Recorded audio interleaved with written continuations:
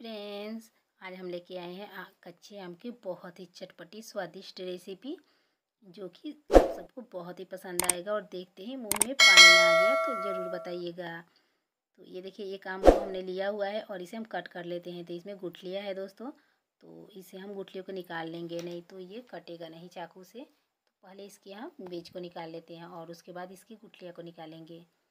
क्योंकि नहीं कट रहा था चाकू से तो पहले गुठलियों को निकाल लेंगे तो ये आसानी से कट जाएगा। जिस शेप में हम जिस तरीके से कटेंगे, उस तरीके से कट जाएगा। तो चलिए, अब हम इसे कट कर लेते हैं। तो ये देखिए दोस्तों, इस तरीके से हमें इसे कट कर लेना है।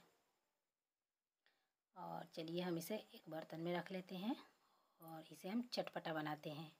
तो इसके लिए हम डालेंगे आधी छोटी चम्मच भुने हुए जीरा पाउडर, आधी छोटी चम्मच काली मिर्च का पाउडर और इसमें हम डालेंगे कश्मीरी लाल मिर्च पाउडर और इसमें हम डालेंगे थोड़ी सी अजवाइन और आधी चम्मच हम डालेंगे चाट मसाला, इससे बहुत बढ़िया स्वाद आएगा। और नमक डालेंगे इसमें आधी छोटी चम्मच और चलिए इसे मिक्स करके इसे बनाते हैं चटपटा। तो ये देखिए दोस्तों, आप इसे ऐसे भी खाइए या कोई चीज़ के साथ भी खाएँगे, रोटी, चावल के साथ तो ये अचार के जैसा लगेगा, बहुत मज़ेदार लगेगा।